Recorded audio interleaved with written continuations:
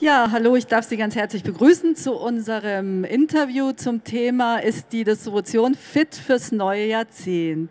Ich habe hier bei mir den Herrn Hoffend von der Firma Glynn. Er ist dort unter anderem Experte für die Supply Chain, passend zum Thema. Ja, wie steigen wir ein? Also ich denke mal, um das Thema Coronavirus und Auswirkungen auf die Lieferkette kommen wir natürlich nicht drum.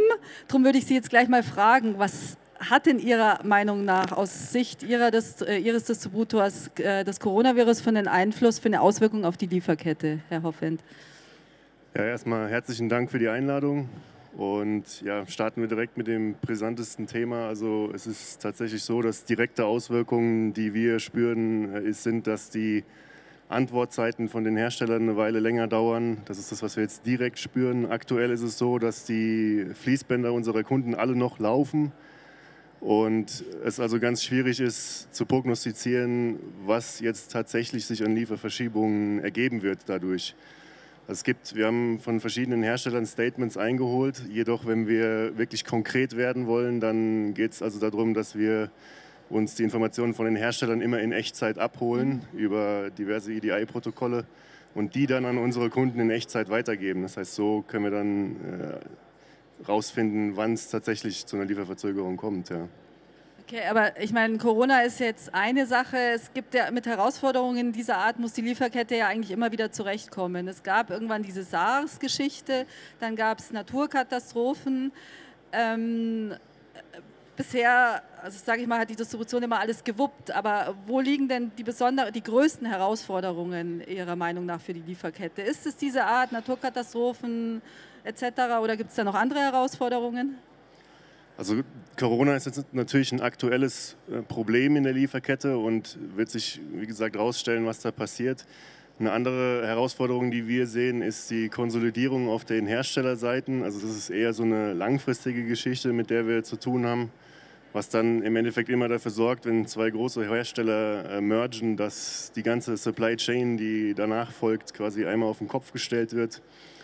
Und ja, da die Kunden eben viele Aktionen treiben müssen, neue Lieferanten qualifizieren, alte falten weg. Und nicht zuletzt auch dadurch ist, äh, entsteht ein hoher Margendruck auf die Distribution. Das heißt, wir sprechen ganz oft in Margen vom einstelligen, niedrigen einstelligen Bereich und das EBIT-Ziel in der Branche, das kann man hier wahrscheinlich sagen, ist generell 5% EBIT. Und das wird dann natürlich schwierig, wenn wir mit niedrigen einstelligen Margen dealen müssen. Ja. Und ja, wie löst die äh, Distribution das? Also sprich, ist jetzt da das Allheilmittel mehr Digitalisierung, mehr Automatisierung, weniger Personal? Ähm, weil das, die Entwicklung geht ja weiter, wie Sie es geschildert haben. Dieses ähm, Merchen von den Herstellern, das wird ja, denke ich mal, jetzt nicht plötzlich beendet sein. Genau.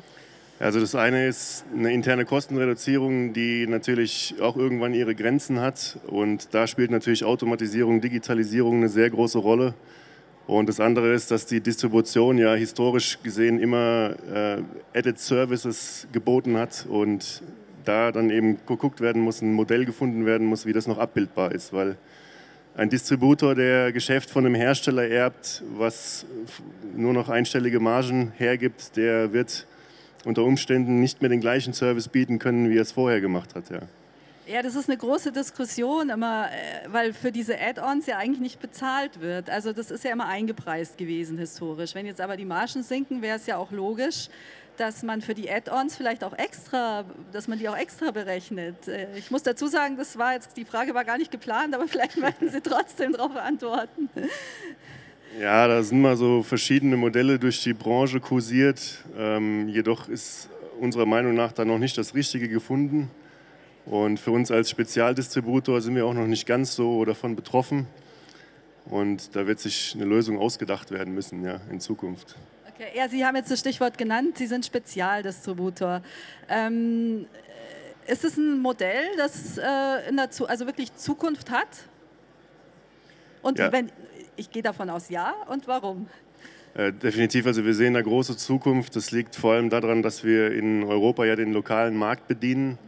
Und unsere Zielkunden die mittleren und kleinen industriellen Kunden sind, die ähm, hochkomplexe Maschinen bauen und dafür hoch erklärungsbedürftige, teilweise sehr kundenspezifische Bauteile benötigen. Also das ist dann de, der Tailored Halbleiter. Und da wir uns fokussieren auf die technische Beratung, vor allem, das ist ja was Glünn auszeichnet, dass wir 70 äh, Techniker im Vertrieb oder als Applikationsingenieure haben. Ähm, der Bedarf ist hoch und er wird auch in Zukunft steigen, weil neue Technologien, die jetzt noch gar nicht auf dem Markt sind oder diese ganzen Buzzwords wie Big Data, IoT, E-Mobility, die wird dafür sorgen, dass die Nachfrage in Zukunft wird steigen und das heißt, die Distributionen ebenfalls davon profitieren und dafür sind wir dann gut gerüstet. Ja. Dann zusammenfassend vielleicht nochmal quasi zum Thema des ganzen Interviews. Ist die Distribution fit fürs neue Jahrzehnt? Ja, also definitiv. Äh, wie gesagt, die Nachfrage wird auf jeden Fall steigen und ein Trend, den wir auch bei unseren Kunden beobachten, ist, dass die Lieferanten reduzieren wollen. Und was liegt da näher, als 20 Hersteller über einen Distributor zu kanalisieren? Weil das heißt, sie haben keine 20 verschiedenen Systeme, mit denen sie arbeiten müssen, sondern nur eins und sie müssen 19 Lieferanten weniger pflegen.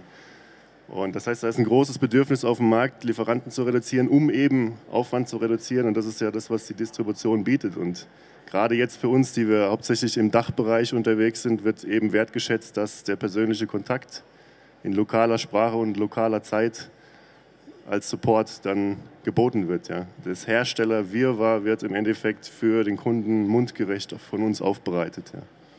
Ja, sehr schön. Das war ein Plädoyer für die Distribution. Ich bedanke mich ganz herzlich. Ja, und weiterhin noch eine schöne Messe. Vielen ja, Dank, Herr Hoffmann. Vielen Dank, danke vielen Dank. auch.